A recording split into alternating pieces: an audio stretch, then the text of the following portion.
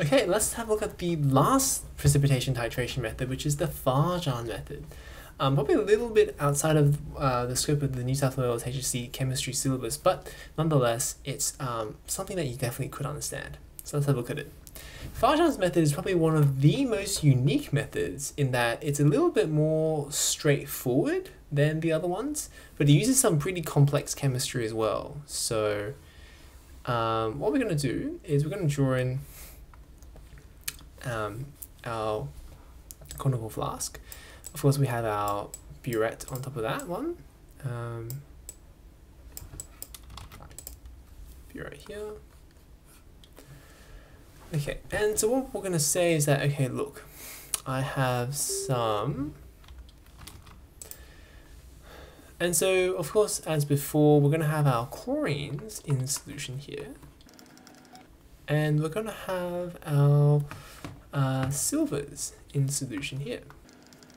Now, what happens is that you know, as we precipitate, of course, we're going to have um, the precipitation. Now, how I've drawn them before is quite relaxed um, in that they're just kind of randomly arranged, but that's actually not, not the case. When we actually have the precipitation occurring, we know that salts have a very regular arrangement. Um, they arrange themselves into a lattice. So let's draw that here.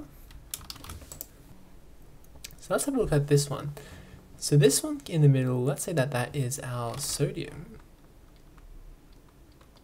And let's count how many chlorines exist around it. So we have uh, one, two, three, four. So that's so it's left and right and uh, in front of it and behind it and also above it and so uh, below it and above it. So we have six around this sodium. Now let's check out if that's true for every sodium. So let's ro rotate this around let's say that we consider this one here, this sodium.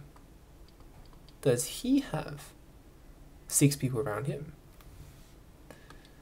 We have one, that's not a good color. One, two, three, four only.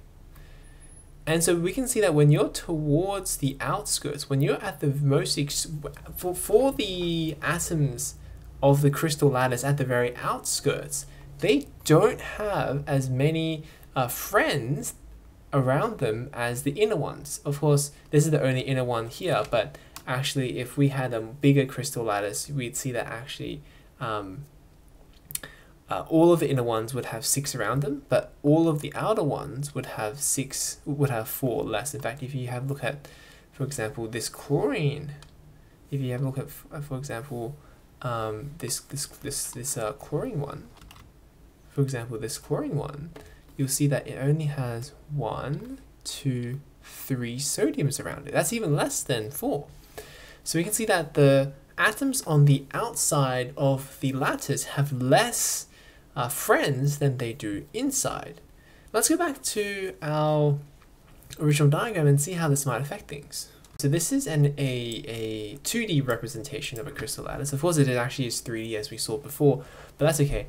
So what we can see here is that, um, okay, let's say for example this sodium atom, it has uh, less of its chlorine friends, right? This this sodium atom has, you know, six, uh, I guess here we can see only see four, but as um, it's surrounded on all sides by chlorines. It's, it feels the negative charge, it feels very happy. This this sodium atom, it doesn't get have enough negativity, right? It would like one here, it would like one there. It's it's just not having enough, right? So then, what can we do about this? So let's let's recall that um, um, in our titration, you know, we, we have our silver and our chlorine. So let's replace the sodiums with silver. So let's see what might happen, right? So let's recall that um, when we're titrating um, it, we have our burette. the burette's not going to be touching it. Uh, the burette has our silver inside, right? And inside we have plenty of chlorine, right? We have plenty of chlorine. Um, we have plenty of chlorine. So our chlorine, so these these surface um, silvers, you know, they would love to have an extra chlorine here, right? So what might happen is that this chlorine, it would be kind of attracted. It would not bond to it, but it would kind of like hover around it, right? And this chlorine might hover around this, this silver, and this chlorine might hover around that silver, and same here, right?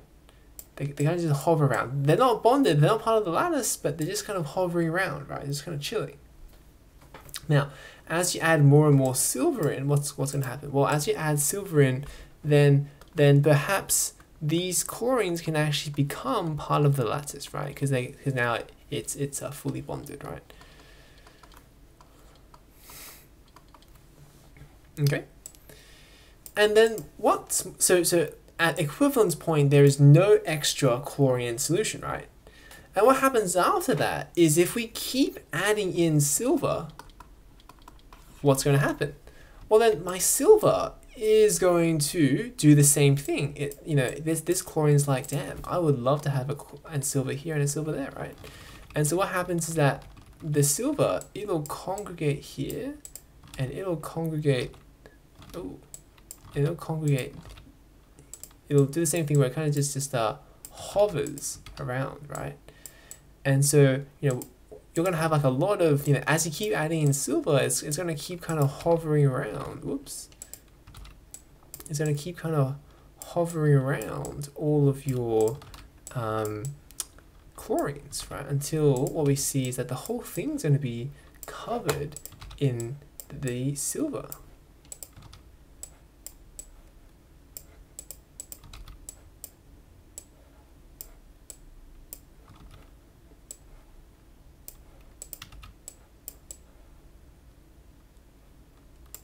And now you, you can see that the whole surface is covered in, in silver. Who cares? Well, the reason why, why we care is because what actually happens is that we have added an indicator. I didn't tell that, that to you earlier, but we've actually added an indicator. This is the indicator. Um, has a very long name.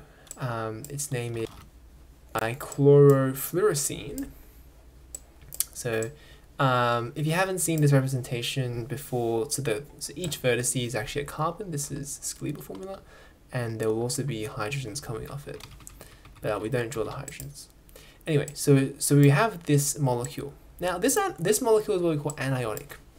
It's anionic because it's anionic because it tends to have a negative charge, right? Um, so you, you, can imagine that um, these hydrogens might fall off, um, and so the whole thing has a negative charge. Because it has a negative charge, it like it's like, wow, I love all this positivity that's on the surface. It's going to begin hanging out here as well, right? It's it, it, it in itself, because it's negative, it wants to get attracted to the positiveness here. Now, when we had the chlorine in excess and the chlorine was congregating around the surface. This guy's like, ew, gross. I don't like negative things. The whole surface is kind of covered in the negativity. He's like, no, no, no, no, no. I'm not a fan of that negativity. Um, but now that now that we have the excess silver and the whole thing is covered with um, positive charge, this, these guys get in on the action. Like, wow, I love how positive it is. I love this, right? Um, and so they all kind of bind here, right? Now, as they bind to these silver particles, what happens is that it causes a, a conformational transformation in their body. And so what that does is that it causes it causes them to go from their natural color of green, so these guys are actually normally green, so the whole solution is going to be looking green, it's going to become red or pink. And that's when you say, okay, it's time to stop. And that is um, the Fajan method. So let's run through that again quickly. Um, so let's let's let's let's let's let's uh, run through this quickly. Oops. When we have the so we we precipitated some of the silver chloride. When we have the excess chlorine in solution, it'll eventually it, it doesn't bind to it, but just kind of hovers around it because it's attracted to this positiveness.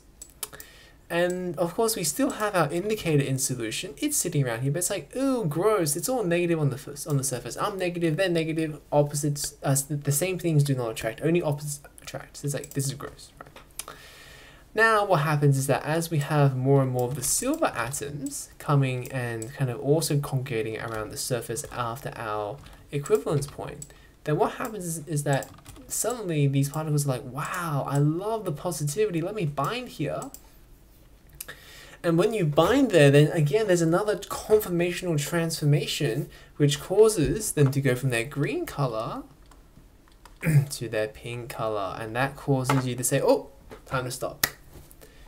And so actually it works very, very similar to, actually the calculations for this is almost exactly the same as for a normal titration of acid base. You just simply have, um, you just add in silver until it changes color and then you end.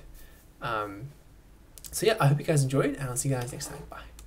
We offer physics, chemistry, and math tutoring. For more insightful explanations like this one, head to tutorgum.com.